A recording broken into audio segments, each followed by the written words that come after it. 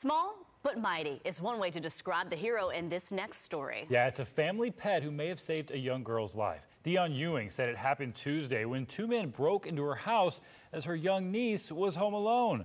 Well, security video shows the men kicking down the door. You see it there from a ring doorbell camera. Well, when they got inside, those robbers took off immediately because of that dog. The little hero was able to distract them. Look how small Oh, she is, so Starla. Ewing's niece could escape through the garage. But as she was running out, the one who had the gun asked the other one if they wanted them to shoot her.